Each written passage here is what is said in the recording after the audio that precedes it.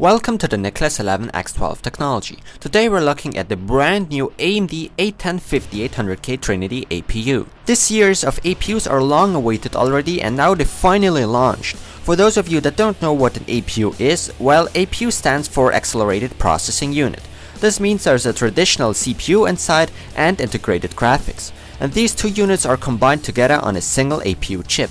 But here's the box. Again, we're looking at the A10 5800K or also known as A10 580K. Here are some specifications and this APU is only compatible with the new FM2 socket and AMD recommends going with the A85X flagship chipset on your motherboard. But you can of course also run it with the A75 and A55 chipsets. The box looks very nice in my opinion and it got a lot smaller compared to the previous generation Llano APU boxes. On this side, AMD basically tells you more about the dual graphics technology, so you can combine the integrated graphics with a discrete graphics card to get even more performance. Here's a little table that tells you what will basically run in dual graphics mode or also known as crossfire. The A10 series goes with the HD 6670 and 6570, same for the A8 series. The A6 series runs with the HD 6570 and 6450. I will not test dual graphics in this video, but I'll make a separate video on that, don't worry. On the back of the box you get the description in different languages. I really like the black color AMD went with for the box. That's because you can overclock this unit very easily since you have an unlocked multiplier. But now let's open this box up and see what's inside. Alright, that's the AMD manual and warranty. This is the stock cooler and it looks fairly simple but it isn't very large. This means the APU most likely will not run hot. Thermal paste comes reapplied already and the fan uses a 4-pin fan connector. And last but not least the APU and the plastic protection even with the sticker. Now I'll take out the processor and there it is, it looks very beautiful. On the back as always are the pins and there's some free space of pins in the center just like we used to see it on the FM1 socket. For this test I'll be using the Gigabyte GA F2A75M D3H motherboard with the A75 chipset. And as for cooling I'll go with the stock cooler. But now let's move on to the specifications. The AMD A10 5800K is a quad-core Trinity APU that has a base clock of 3.8 GHz and a turbo clock of 4.2 GHz. The AMD Radeon HD 7660D graphics is embedded and the TDP of this APU is 100 watts. The 32nm architecture is still used and there's absolutely no level 3 cache, instead you get 4MB of level 2 cache. Dual channel DDR3 1866 memory is supported natively. As you can see in CPU-Z, the APU gets detected without any problems. The voltage is very low, the latest instructions are used, and to save some energy, the APU will run on lower frequencies on idle instead of constantly staying at 3.8 GHz. Like I've already said before, this A10 5800K has an unlocked multiplier, and therefore you can overclock this processor very easily. As for the memory support, well I have a DDR3 2000MHz RAM kit installed, but I couldn't get it to run at the rated frequency without overclocking the platform. This means I'm running this at 1866MHz. In GPU-Z you can see the HD 7660D integrated graphics gets detected. The specs look pretty good and just like the last generation HD 6550D on the A8 3850 or 3870K, DirectX 11 is fully supported. But now let's move on to the benchmarks. This is my test system.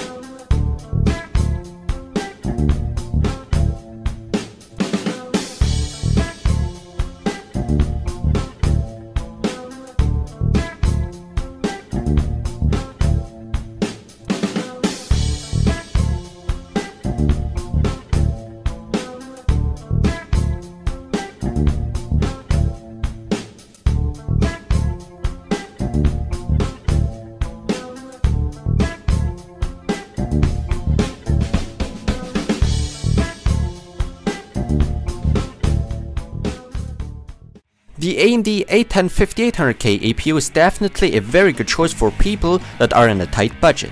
The 5800K offers good CPU performance as well as even better GPU performance. It's a little complicated when comparing this APU against the competition like Intel's Core i3 processor. In terms of CPU performance, the i3-3220, the smallest i3 of the current lineup, still beats the A10-5800K, which is the flagship model of the Trinity lineup. But if you move on to the graphics, you will quickly realize there are hardly any possibilities with the Intel HD 2500 graphics. The performance is just too low, so gaming will be almost impossible. The powerful Radeon HD 7660D offers amazing performance though. Of course you cannot expect to see FPS like you would on mid-range to high-end discrete cards.